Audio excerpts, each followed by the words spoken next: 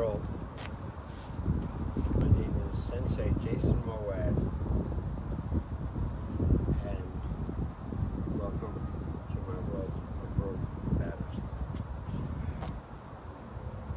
Um, I've been doing heavily, heavily a lot of uh, knife stuff, a lot lately, Bowie, and I'll continue to do it. But that's not all I do, and that's not all I want to share. There's many other things that are important and um, I'm going to do in this video a little bit on that on non-weapon combat or empty hand or karate. That's what karate means kara. Is empty te is hand empty hand. Empty hand fighting you know. So, so I have a, a drill I made up in 2015 a 15 count close quarter drill and I've been teaching that privately to adults since then and it's great and can be in any shape. It, it, it's like a kata but it's not like a long-winded one we'll say um, but it's very it's very um, good. So I'm going to be doing I'm going to show the 15 count close quarter drill which is no weapons. And then after that I'm going to show for the Bowie people I'm going to do uh, Bowie double knife Bowie set number three. I'm going to show a third one. And then whatever else comes out. And so here we go. All right, the 15 count close quarter drill. Is, yes, it is a kata, if you want to call it that, or a form. Okay, I'm American, so I'll use American English. It's form, not kata. Not disrespecting katas, them, but it's just a name for it. Okay, vehicle. And first I'm gonna demonstrate, I'm gonna do it, and then I'll break it down. And my lovely assistant will keep me in time so I don't go over 10 minutes with this. I will. Okay. All right, so it starts, you can do it anywhere in your living room, you can do it outside. Um, it doesn't matter, it starts right where you're standing in a circle. Or um, the circle's in your head you know, like I'm saying, like you don't need more than this much space uh, to do it. And ironically too, this, this is another lesson too, uh, is your space. I remember the first lesson I learned uh, when first, first day of, of training. Sensei, uh, back in 91, he said, this is your space anyone gets in your space you don't want to, you fuck them up. That's it. No questions asked. That's your personal space and you own it. All right, so close quarter form, we demonstrate it.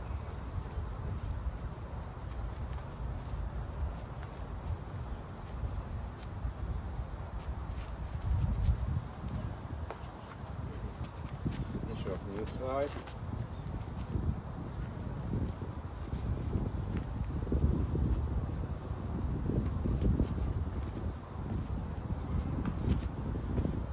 All right, yeah, it's only 15 moves.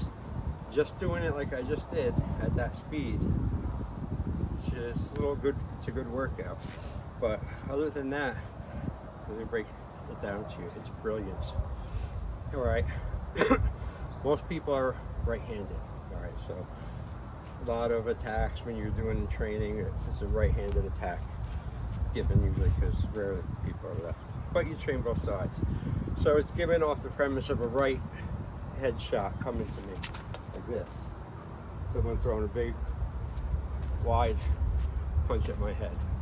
And I'm here and I'm in this stance, okay? All right, starts from here. We start like this, not like this, for an important reason. And why don't we want to do this?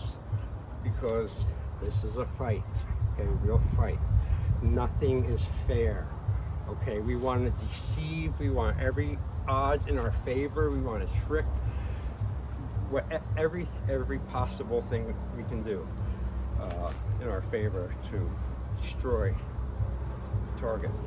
So this says passive kind of right, like hey, I'm I'm not I don't want to fight. You know, it's like hey, leave me alone. Why do you want to do that? Because well, one, if there's witnesses and stuff, people seeing two people, they're gonna say one guy had his hands up, other guy was like this, looks better, okay, for the start. But this is really, this is uh, called uh, attack by draw. It's really, this is, I'm attacked by drawing. You know, I'm attacking you by drawing you in, by by acting submissive or scared, weak like this. I'm lulling, you're, now you're overconfident and you think you've got it won everything and you, you, you're more stupid. Right, so you, you stay in that stance. Plus, it's an attack by draw. You come into the face or whatever. But you're here now. You don't have to have any kind of blocking uh, training with the spear because you're in this position blocks you from a sucker punch if they're talking there's other people. So this is why we start like this. Hey what's the problem? Not hey you know idiot like that. We're here.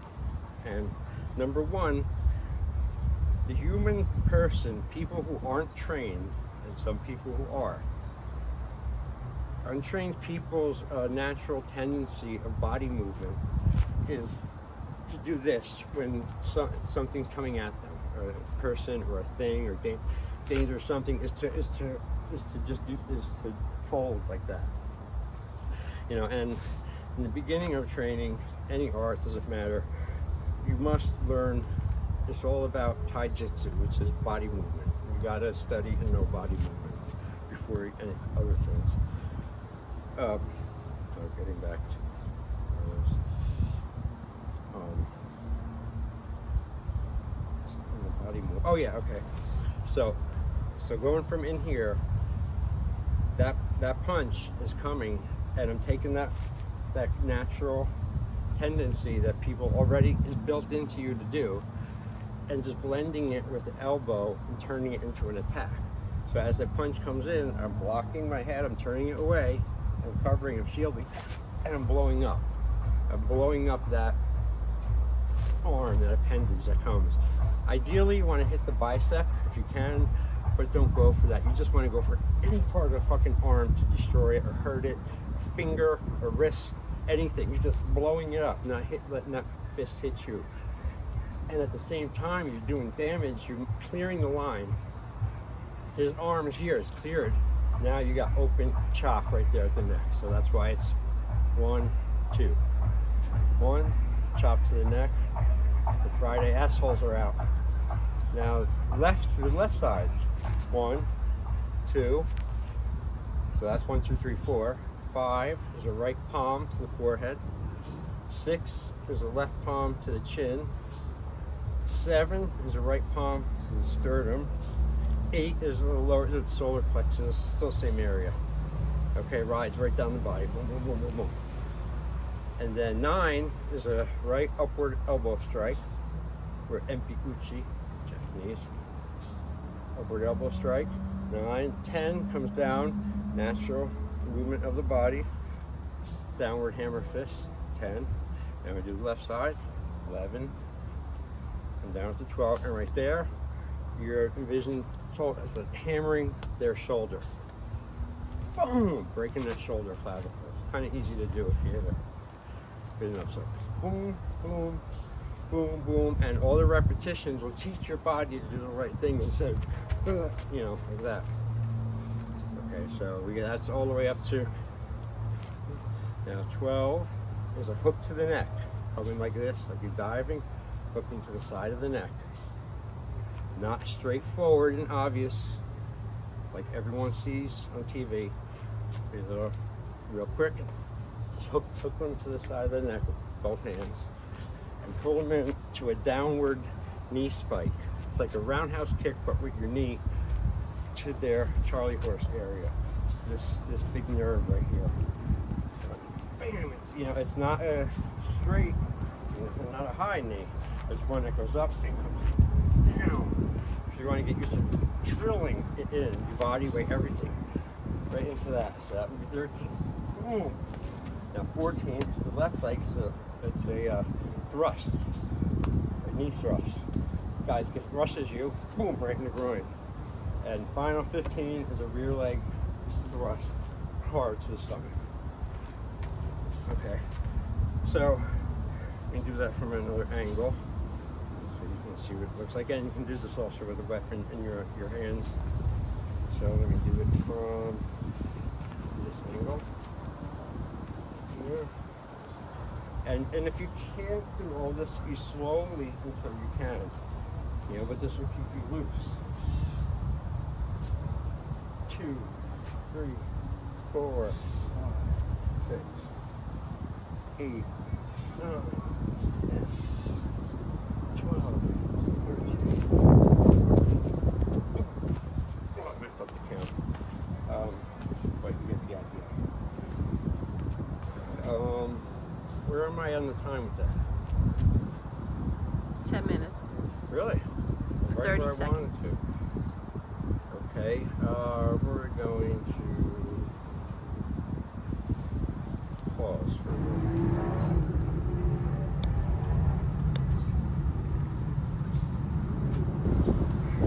Okay, back now to do the Bowie portion of the video.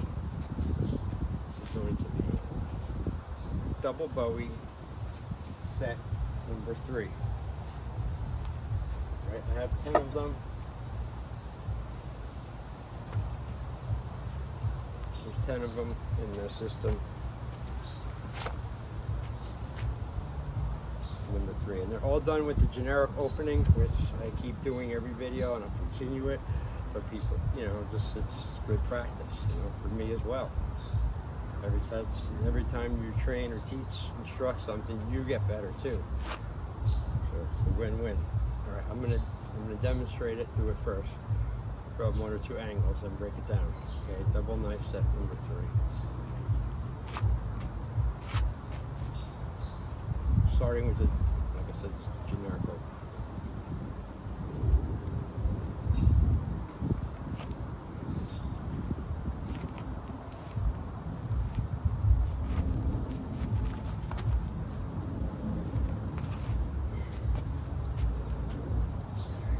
This angle here.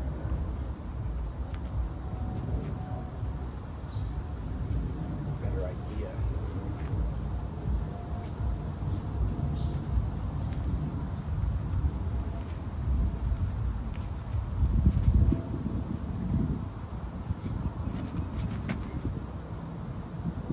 Ah, yeah. There it is. Okay. I'm breaking it down. Starting in your fighting stance, your, your knife double Bowie stance was the same as home Bowie. Again, just review that, those who haven't seen it, it's just like you're getting on a bike, sitting on a bike, keeping your back straight. No slouch shit. Or Japanese familiar Zenkutsu Dachi. Really is a relaxed Zenkutsu Dachi forward sense. Back up. And points. Very importantly, always pointed directly at the center of the target's visionary or, or face. Okay, that's where they face. You can fishtail with them if they move. You, you keep this track right, right locked on. Okay? Anything going to get to you've got to get through these. Okay, so here's your a good number of stance. Generic openings, slash, thrust over, not under, over the arm. Step to the line, move three, shift off while still being on the line. Now take it from low to mid. Back cut out of there. Rust. This completes the generic opening. Number three starts here. One, two, three. Rising head block. Notice how my wrist is like that. It's above my head. It's not a head block. How you train, how you fight, believe me. Three. Is that three? One, two, three. Four is then a thrust. Abdomen. Five is hammer fist to the back of the head. Six is tricky. Be very careful. Super armor. Under six. Here now seven is a scissor cut to your rear. So wherever your rear is, step open, scissor cut. That blends down into a double thrust, a double Bowie. From there, there's a, a side kick, or if you can't do the side kick, you're right into this twin high-low strike, which is a beautiful thing. I'll break that down in a minute. Okay, and as you get these, like, you do them in succession. Uh, like I'll do uh, uh, sets one, two, and three. You know, just so you know how you can build up a workout once you, you start learning these. You do them one after another. Each one's roughly 10 moves. okay, is number one. All starting with the generic opening.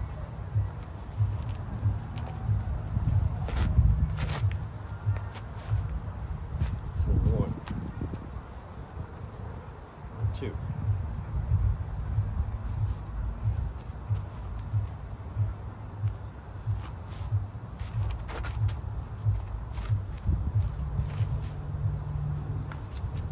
Number three.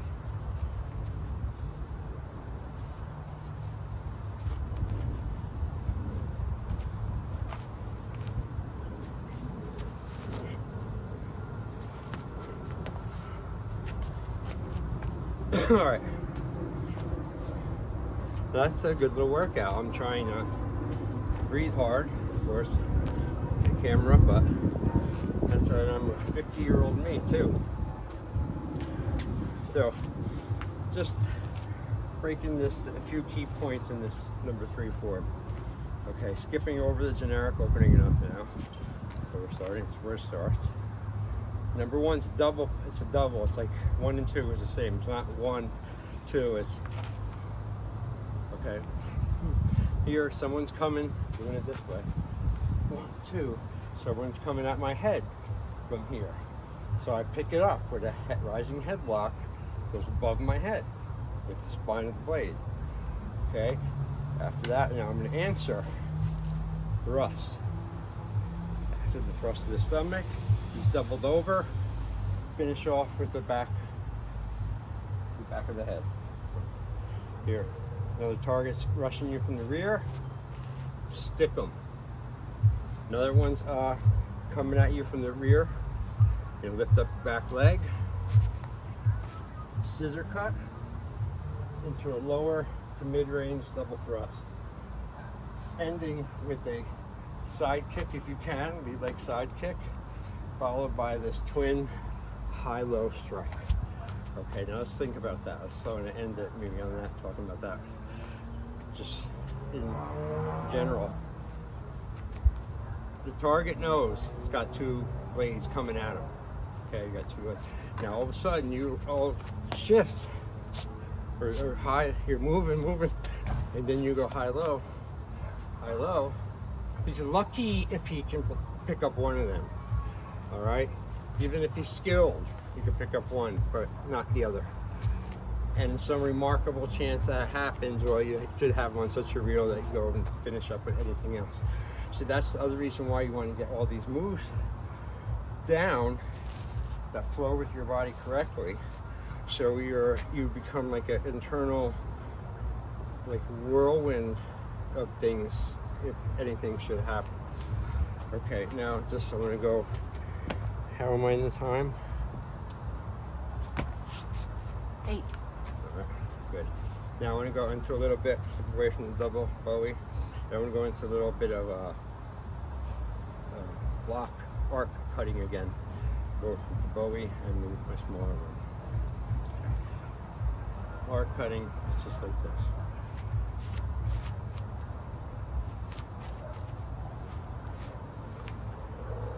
Learned this from the great, great Dr. Kelly Worden. I learned this from. Um, oh, they're so great. And I, I like to add a thrust to it.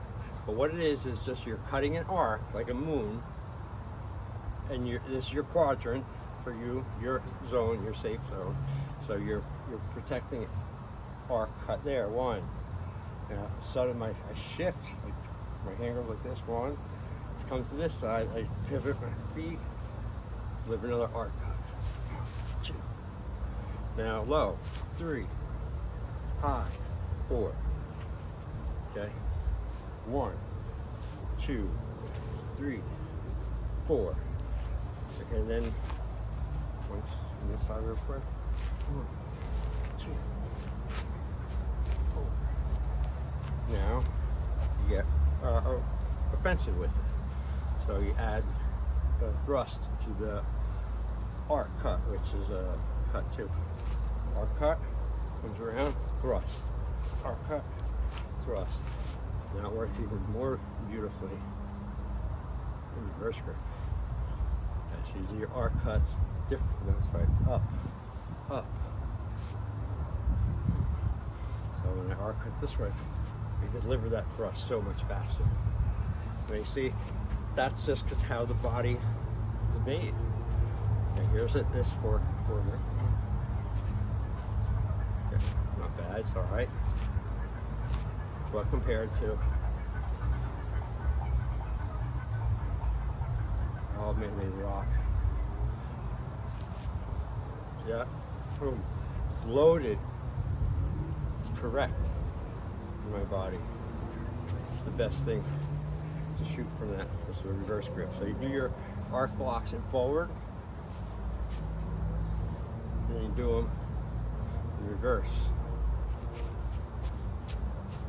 And then you add your thrust.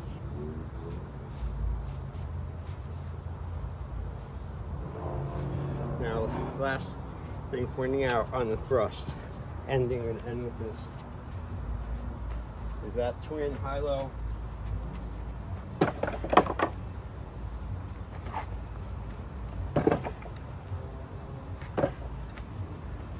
very good because that you can even translate that into hand. All of this stuff too, uh, this Bowie and any really weapon also can translate into empty hand in one way or another. Uh, especially you know like the the block. Like if I'm just using a fist for, as my weapon, cutting my. All right, and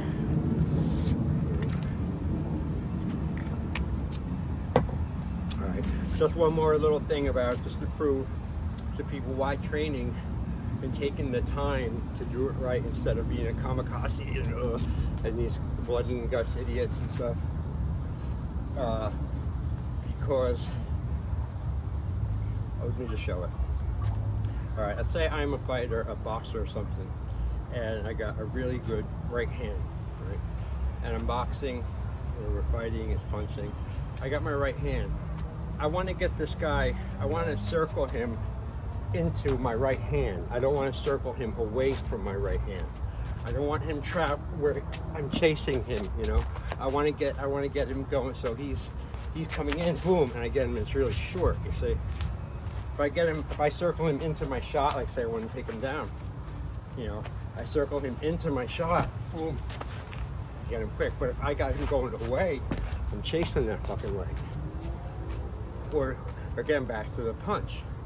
I got this right hand. I want to get him coming into this punch. Now, I don't want him going this way and getting a very little bit of it. You understand? Same with the shot.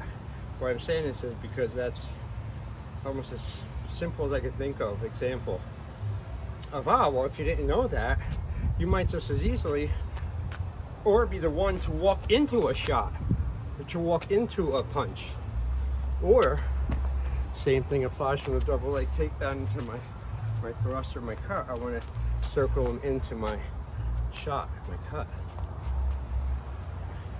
And that's why you've got to just do all these things and keep training every day for the rest of your life. And that's it. So with that, I'm going to stop here. Uh, thank you. And um, oh, if anyone is interested in training, you live in the tri-state area, email me. You can email me, jasonmoad at gmail.com. Do not call me. Do never call me. I will never answer the phone uh, unless I don't, unless I know you. So if you want to contact me for anything related to Bowies, training, real combatives, please do it through email.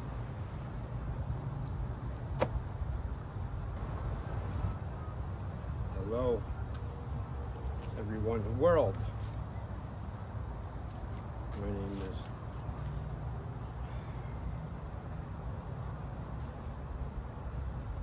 These are some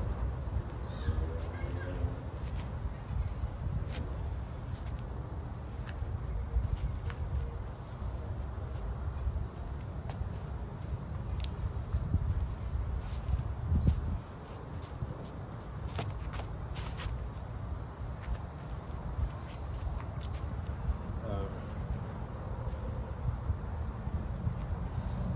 that's but I think for some reason I it was